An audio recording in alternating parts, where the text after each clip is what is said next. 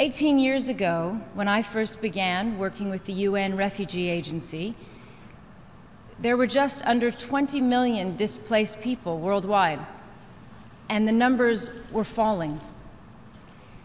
Today, there are over 65 million people displaced, and the numbers are rising. Women and girls are still the majority of the victims of war.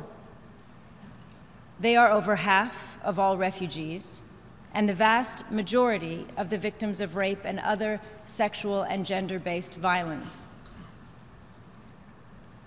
Women are at the absolute epicenter of modern conflict in the worst possible sense.